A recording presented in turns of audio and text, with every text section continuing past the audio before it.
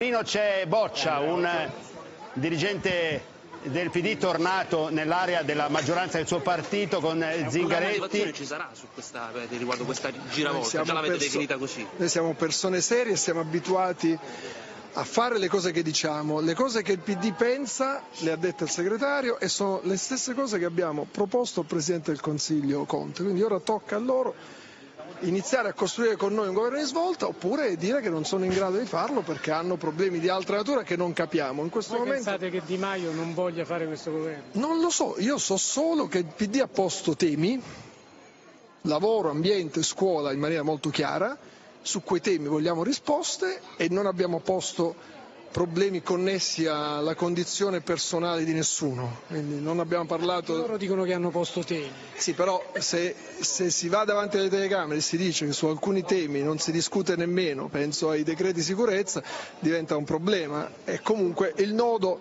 resta lo stesso, e cioè che con il PD ultimatum, gli ultimatum non funzionano. Noi non siamo, non siamo la Lega di Salvini, vorrei cercare di passare ragazzi. Non siamo la Lega di Salvini, col PD se si tira la corda la corda resta in mano. Hai sentito parlare anche di ipotesi di appoggio esterno. No, queste cose le discutiamo come è noto nelle sedi opportune. Queste eh, le parole di Boccia. Vediamo se dice ancora qualcosa per essere sicuri.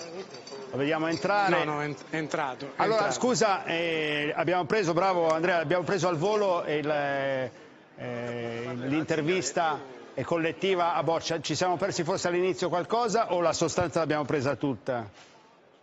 La sostanza essendo, mi pare di capire, che No, appunto diciamo, la sostanza è quella... non ci facciamo fare Sì, siamo il PD, non ci facciamo fare ultimatum da chi che sia.